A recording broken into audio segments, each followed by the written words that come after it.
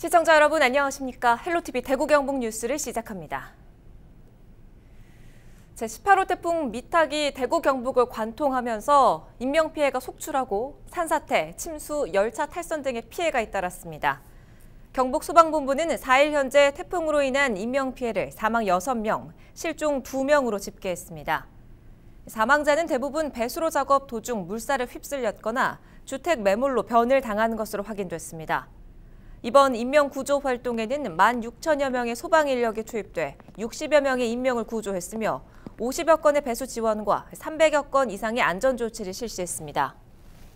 대구는 4일 현재까지 주택 정전 등 총 8건의 피해가 발생했습니다.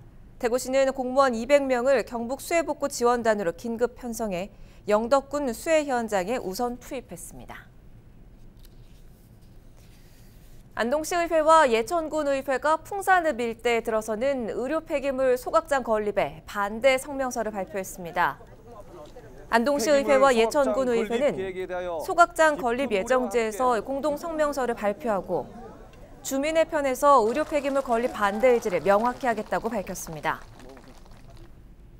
1일 60톤을 소각하는 엄청난 규모의 의료 폐기물 소각장이 이곳에 들어서게 됩니다. 환경 오염 등에서 청, 정말 많은 어, 재앙이 어, 뒤따를 것이라고 생각을 합니다. 어, 적극적으로 우리 소각장을 어, 들어오는 것을 반대를 하고 우리 주민들이 생산하는 농산물 판매는 물론이고 또 도청 중심 도시라는 이미지가 상당히 훼손을 받을 것입니다. 또 안동시의회와 함께 어, 대응해 나가도록 소각장 저지대책위는 폐기물 사업계획서가 접수된 지난 9월 30일 풍산읍 예천 보문면 인근 주민들로 결성됐으며 지난 2일에는 안동시청 앞에서 집회를 열고 대구지방환경청을 항의 방문하기도 했습니다.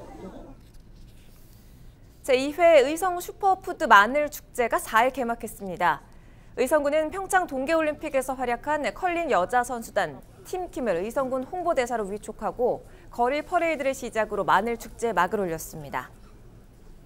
지난 1회 때는 마늘 타운에서 개최를 했는데 시가지로 이제 옮겼습니다. 제2회 의성 어, 슈퍼푸드 마늘 축제에 많이들 관람해 주십시오. 행사가 열리는 이틀 동안 마늘 올림픽을 비롯한 마늘 아재 할배 선발대회가 열리며 의성군민 노래자랑 등 다양한 프로그램이 진행됩니다. 또 의성 우수 농특산물 홍보 부스도 운영됩니다. 제7회 경상북도 평생학습 박람회가 4일 의성 종합운동장에서 열렸습니다.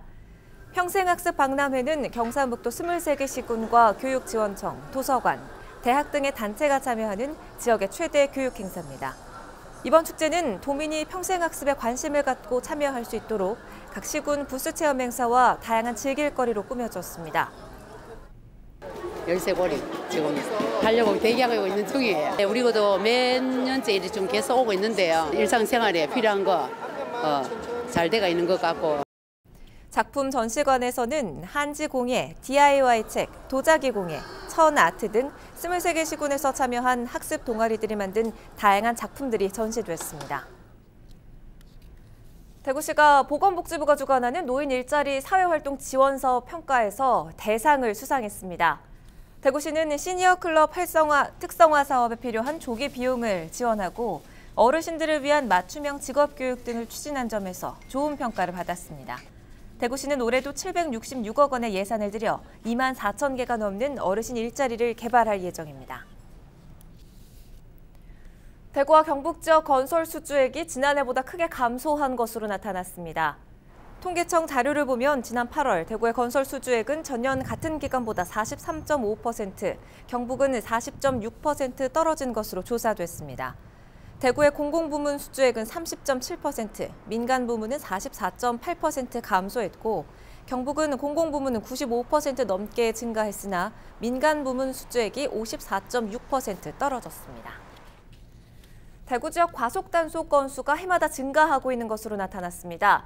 국회 행정안전위원회 소속 소병훈 의원이 경찰청으로부터 제출받은 자료에 따르면 대구 지역 과속 단속 적발 건수는 2016년 23만 4천여 건에서 2017년 42만 3천 건, 지난해 45만 9천여 건으로 2년 사이 2배 이상 늘었습니다. 이상으로 뉴스를 모두 마칩니다. 시청해주신 여러분 고맙습니다.